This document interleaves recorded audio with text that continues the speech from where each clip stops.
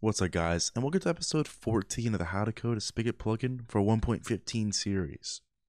Sorry I missed last week, I've been a little sick, still kind of sick, so we'll try to get through this video without uh, me coughing.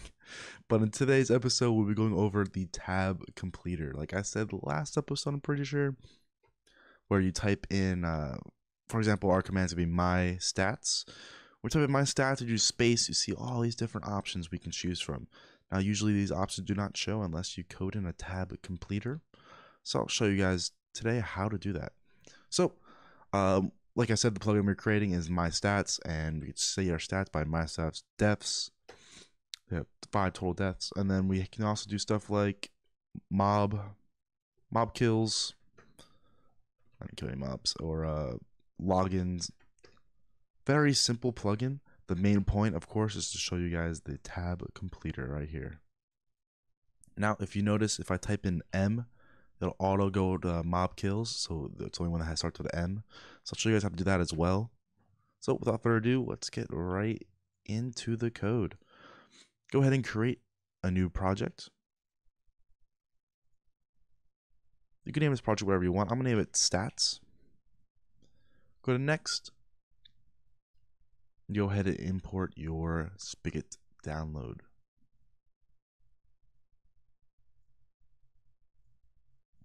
Once you go ahead and do that, open up your uh, project, go into SRC, and let's create our first package. The package name is me.codedred.stats. And uh, if you don't know how to create a package name, it's really just a website. But if you don't have a website, you can do me.yourname.the name of the project. Once you have the pro- uh, package created, go ahead, right click on the package, go to new class, and we're gonna name make a main class. Inside the main class is we're gonna type in extends Java plugin. That will get our Spigot download into our plugin, so we can use the API. Next, we want to type in the enable and the on disable. We'll be using the on enable today. And then basically what these do, oh, need a void, is whenever the server starts up, the on will run. Whenever the server shuts down, the on disable will run. All right. All right. Well, don't know why I just pressed, but okay. Once we have that created, we're actually going to create a command class outside, or I mean, a command method outside of this class. So let's create a new class right click on your uh, package, go to S, uh, new class, and we'll name this stats.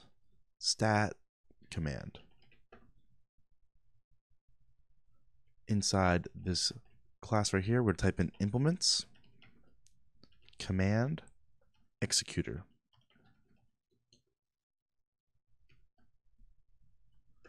And then here we'll create our commands. We'll type in public boolean on command. And we'll need a few parameters here. Then we'll need the parameter of command sender. We'll name it sender. Command, name it CMD, uh, string called label, and then some arguments, which would be an array of strings. Go ahead and type in return false, import all of that. Then let's get to coding the command itself. So the command is pretty simple. Um, it, I just made a simple command because I want, really want to show you guys how to do tab clear. So let's type this up real quick. So we're to say if the label dot equals ignore case my stats. First thing we're going to do is check if the sender is a console. So sender's instance of player, and I put an exclamation point there saying if it's not a player, go ahead and do this. So we're going to say return true here. And we'll say sender dot send message. The console cannot run this command. Once we know it's not a console, once we know it's a player, go ahead and create the player, player, player equals cast of a player to the sender. And now we can go ahead and start creating the actual command. So we'll say if the args.length equals zero. So this would be a usage. So this is whenever someone types in slash my stats without any uh, thing after it. So we'll send a usage to them. So player send message. We'll say chat color red. And here I'll just say usage usage slash my stats and then the options. So we'll do deaths. We'll say logins. Um, what else was it? Mob kills and player kills. Return true. All right, so if arguments is not zero, say if arguments dot length is greater than equal to one, now we know that they have argument after slash my stats. So we're going to say if args of zero, which is the first argument, dot equals, in our case, deaths. Go ahead and do that. And to save time, I'm just going to go ahead and copy this if statement. And we'll paste it four times or three times. And we'll change this deaths to logins, this to mob kills, change this to player kills. And like I said, it's a very simple command. So all we're going to say inside here is player dot send message chat color dot aqua oh, wrong one chat color dot aqua there we go. And we'll say you have plus and this is how you get player st stats. So you do player dot stat get stat yeah get statistic. And uh the statistic if I can spell. And if you do statistic dot you can see all the different statistics you can do. And this one is deaths so what say deaths plus you have 10 deaths there we go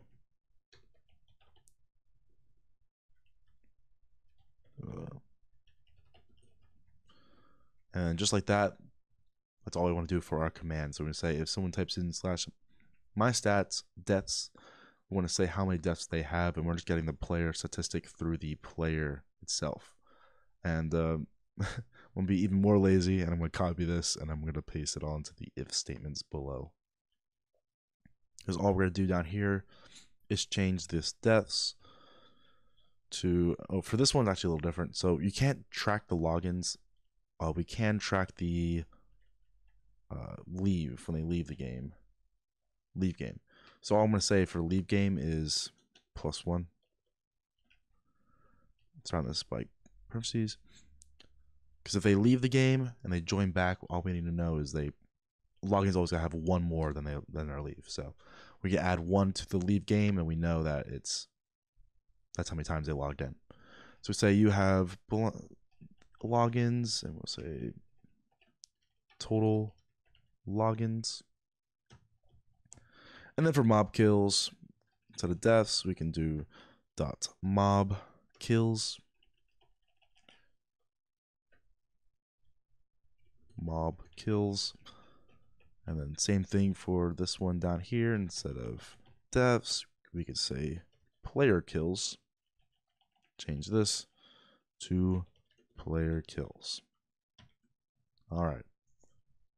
Super easy, super simple kind of command. And then to get this command in our plugin working, when you go back to our main and type in the on enable and say this dot get command. And the command is my stats dot set executor. And the executor is going to be a new stat command. And I showed this many videos before. This is how you create a uh, command executor. So we have the command in another class that implements command executor. So then in the main class, we just need to set the executor to the command. And uh, I put it in a different class because I want to show you guys how to do tab completer And tab completer, typically you want to put it in its own class. So we're going to do that right now. Let's go ahead and create tab completer. Click on your package, right click, go to new class, and I'm going to call this stat tab. And then for stat tab, we're going to implement, and it's not the command executor. Instead, it's going to be a tab completer. Import tab completer. And the tab completers will look a bit different from the on command method. So the tab completer method is going to look like this, a public, and it's return a list. It's return a string list, and we'll name it on tab complete. And the parameters will be a command sender, name it sender, a command cmd, a string called label, and I've oh yeah, and then uh, also arguments.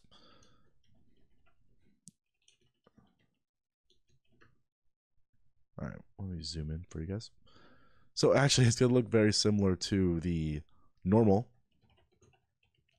on command method, except it's gonna return a string list. Go ahead and import everything. There we go. I typed in return null, and what return null is gonna do. I'll hop it back in my server real quick. And if we type in slash launch one of our old commands, you'll see return null just returns the name of our, of our player. It won't return anything else. That's what usually return null does, just returns our name. But we don't want that to happen in our plugin. We actually want it to return certain values. Now, there's many different ways you can do tab completer. The, the main thing you want to do is return what those values will be in a list our values are set values. We're not grabbing these values from a config or anything like that. So what I'm going to do is just go up to the top. I'm going to type in list string. I'm going to name this list arguments. And I'm going to set equal to a new array list that holds strings. Now I'm making mine a global variable only because I don't feel like adding these values every single time someone tries to type in a command. So what we're to say is if arguments dot is empty, then let's go ahead and add those values in. And the values we're going to add in are just the arguments. The logins,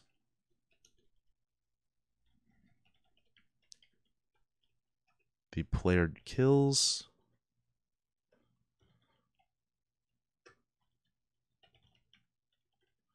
Uh, deaths.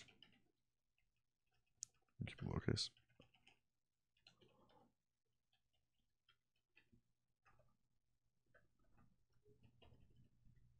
And then finally, mob kills.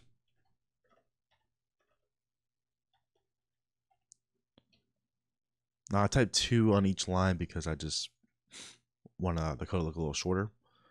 So if this list right here is empty, go ahead and add in the logins. excuse me, the logins, player kills, mob kills, deaths. Add all those values in. So now we don't have to re-add them in every single time someone tries to type in this command. We already have it saved globally. So now that we have those values saved, what we need to do. So the first thing we want to do is type in list string, and we're going to name this another list called result. and we'll say new array list. Man, I cannot type today. New array list string. And the reason why I'm creating another list is because, like I showed you in game, when I type in slash my stats and I do D, you'll see deaths come up. If I don't do what I'm about to do, it'll just show all the values no matter what I'm typing. So I'm about to show you guys if we have multiple we have multiple arguments that start with M if I type in M, all the values with M will show up. To MO, all the values with MO will show up. So we'll say if the args dot length equals one, we'll create a for loop. For loop goes through creates a, creates a string A, and it'll go through all our arguments. And the, what it'll do is say if A dot to lowercase dot starts with args of zero dot to lowercase. And we're getting it down to all to lowercase so we can uh, can compare them. We'll say if a dot to lowercase starts with our argument, go ahead and add that to the result. Result add a. And then show the result. Return result. So if someone types in M, add the string M, add this mob kills to the result, and then only show mob kills. Only show the ones that start with M. It'll make your tab completer look way nicer. And that's all we're going to do. It's that simple to create a tab completer. So once you have that done, let's go back into our main class. And just like adding in a command executor, you need to add the tab completer. So this dot get command. My stats dot set tab completer to a new and we're just typing our class name stat tab. And boom we are done. The last thing we need to do of course is create that plugin.yml and a lot of people still have problems with this. I'm clicking my src right clicking on it go to new file and then all lowercase plugin.yml. This plugin.yml, you should still be able to see it if you close your package. It should be outside your package. And then inside of YML, we're saying me, my main, sorry, main.me.codedred.stats.main. The name of, of the plugin will be, what name again? Stats. The version 1.0, the author will be yourself. And then we have one simple command of my stats. All right. Let's go ahead and export this to the server and see how it works.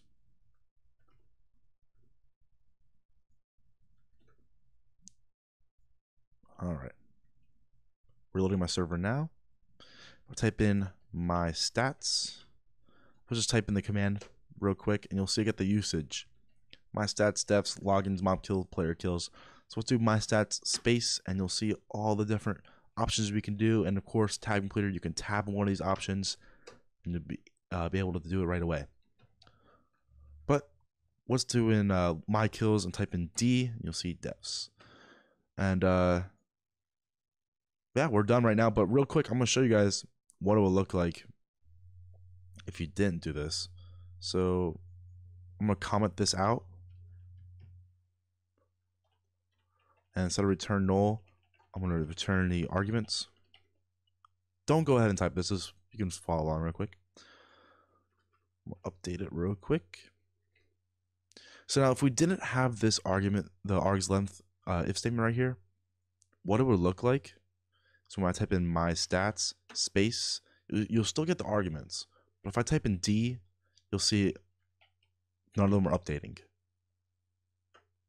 It kind of looks pretty ugly. It doesn't like update with your uh, with the values you're typing in. So that's why we do this if statement right here. Oh, sorry. So that's why we do this if statement right here, is because we want to we want it to look nice, and we also you know, want to show them all the values that start with D, start with L, start with M. It just makes Tab Completer look 10 times better. And uh, that's pretty much it for this video. I hope you guys enjoyed it. I really hope you guys use Tab Completer with your commands. It really does help and make your command look better. It makes it look, it makes it stand out from the crowd.